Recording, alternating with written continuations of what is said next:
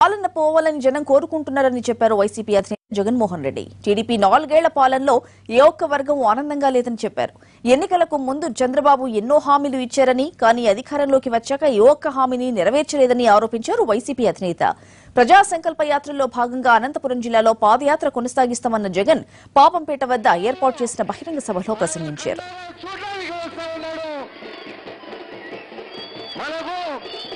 రాజశేఖర రెడ్డి మిమ్మల్ని అందరినీ కూడా నాలుగు సంవత్సరాలు ఈ చంద్రబాబు నాయుడు గారి పాలన చూసిన తర్వాత మిమ్మల్ని అందరినీ ఒకటి అడుగుతా ఉన్నా ఈ నాలుగు సంవత్సరాల పాలనలో ఏ ఒక్కడైనా కూడా చంద్రబాబు నాయుడు గారి పాలనతో సంతోషంగా ఉండవరా అని అడుగుతా ఉన్నా మిమ్మల్ని అందరినీ కూడా నేను గట్టిగా రెండు చేతుల పైకి